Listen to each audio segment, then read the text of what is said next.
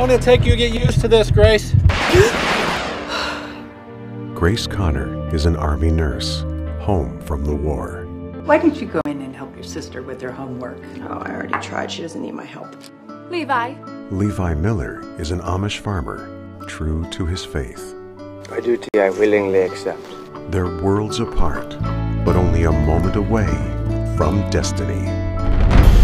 Levi! My mother has been shot! It's alright. It's alright. I'm here. Look familiar?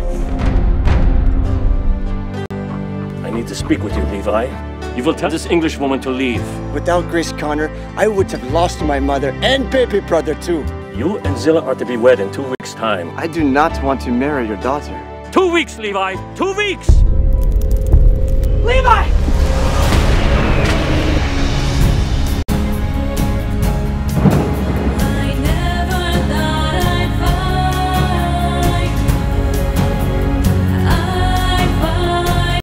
Is to become of us, Grace?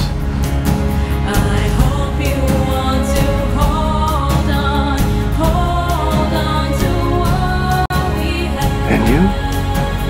What do you need?